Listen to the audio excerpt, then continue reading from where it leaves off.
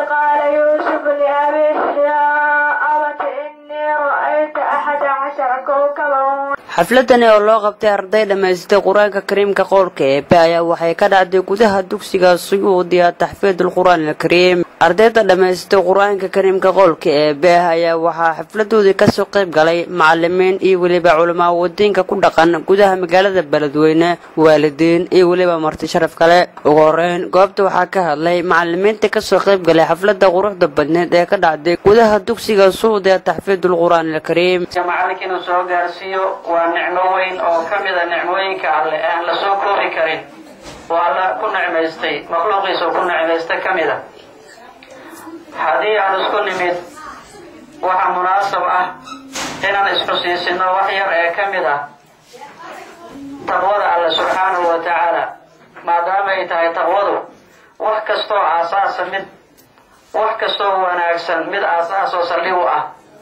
Loogana fogaado wax kastoo xumaan ah fogaasho ay tahay. Taqwada alle subxaanahu wa tacaala wuxuu uga hadlay qaybo kala duwan ee badan mar wuxuu ku amray si caam ah ayuu ku amray naaska ayada badan ee qur-aankiisa ka mid ah alle subxaanahu wa tacaala ay ka mid tahay yaa ayuha nnaasu taquu rabbakum aladii khalaqakum min nafsin waaxida wa khalaqa minha zawjaha wabata minhuma rijaalan katiira wanisaa واتقوا الله الذي تساءلون به والأرحام إن الله كان عليكم رقيبا الله وحوله سبحانه وتعالى oo ah makaan lagu baranayo qur'aanka kariimka ah.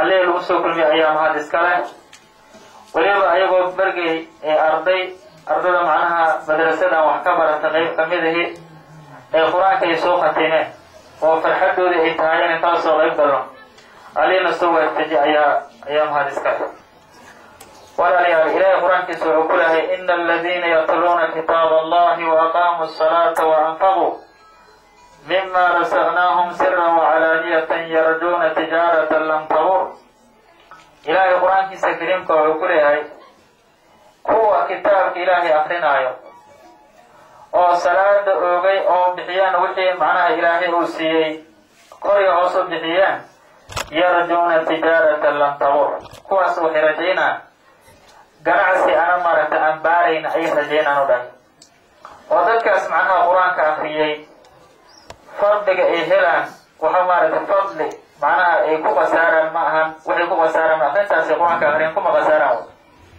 tijaaro marnaba macnaha qur'aanka akrintiisa iyo salaadoo la ogaa waxay noqonaan tijaaro anan baarayn ayay noqonaan o dhan liyuwafiyahum ujuurahum wayaziidahum min fadlih waxawaana ilaahay wuxuu u oofinayaa ajriyaalkooda.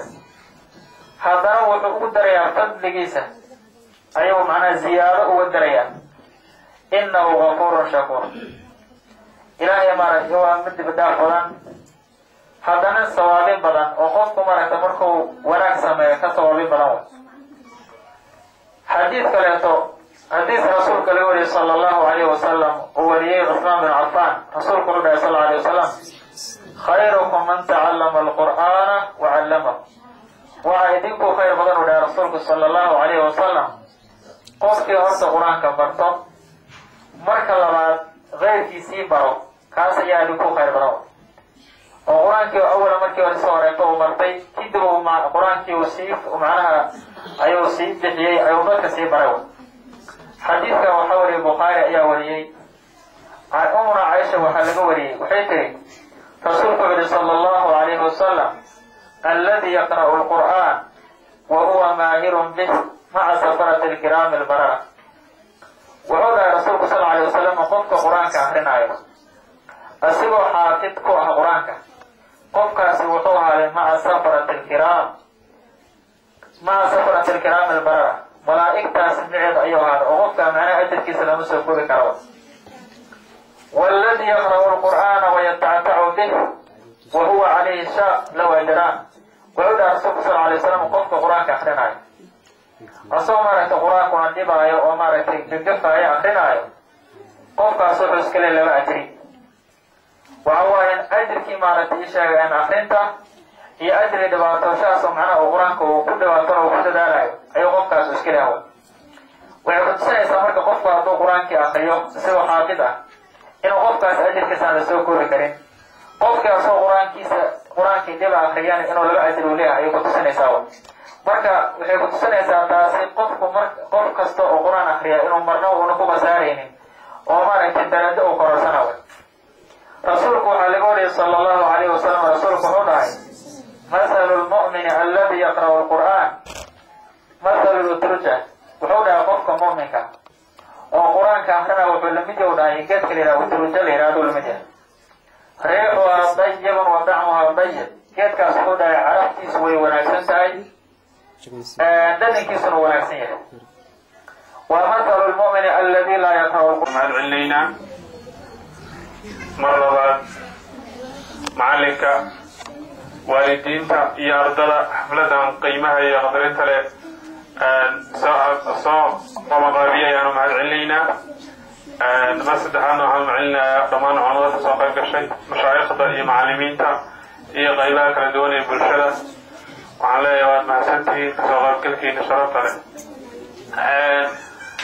macalimiintu mar walba madaaristu ha kala dunaana laakiin macalimiintu mar walba waa isku mid. Hadafkoodu waa dadka in qur'aanka la qoro. Hadaf kale leeyihiin ma jiro. Marka runtii aad iyo aadaan ugu faraxsanahay.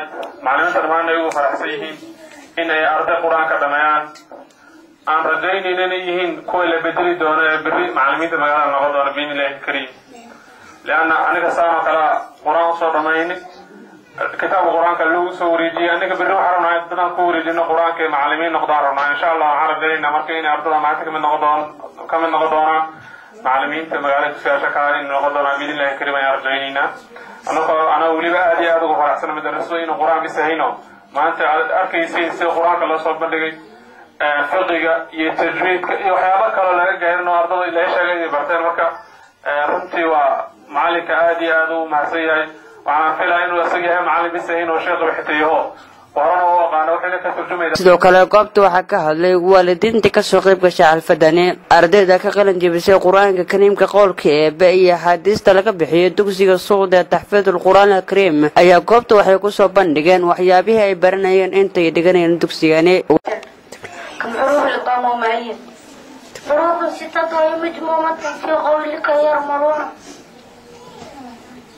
كم حروف الإطلاق حروف واحدة وأربعة إلى كم قسم ينقص المد إلى قسمين أصلي وفرعي ما هو إدغام متقارب ومتقارب ومصفى؟ مد على كم حركة مد مد على حركة كاف ها يا عين صاد. ذكر رحمة ربك عبده. عبده زكريا. إذ نادى ربه نداء خفيا.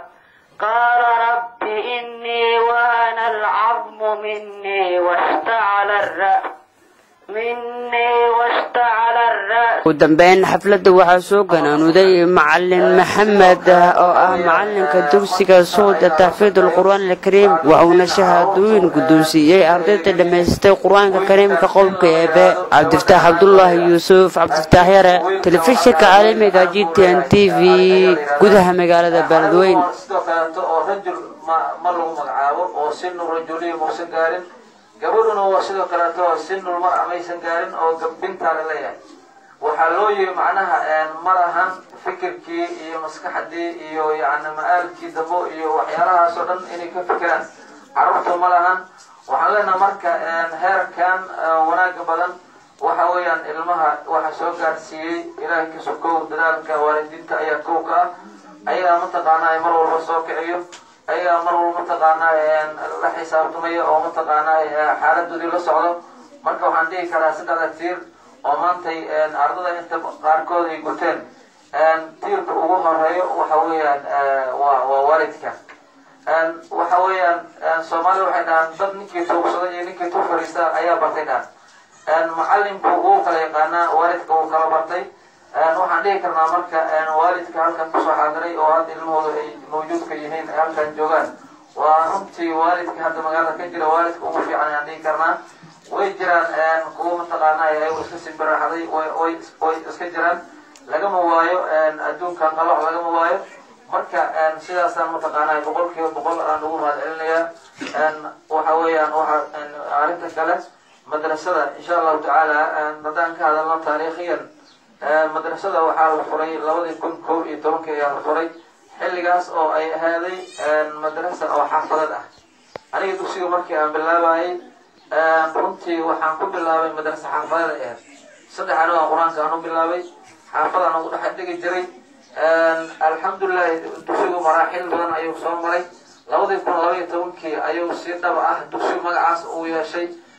Wixii ka dambeeyey ardo badan ayaa mataqaanaa qalin jibiyey oo maraaxil mataqaanaa kala badan ku soo qalin jibiyey maantana insha allahu tacaala ilmo badan ayaa qalin jibiyey madrasadu waxaa lagu haya oo gudaeda lagu hayaa waxay tahay in aan ku dadaalno aan intii intii tabarteen ah qur'aanka kariimka in aan dhigno oon ardada aan xifdisiino yacna waxa weeyaan muhiimaddu waa intaas.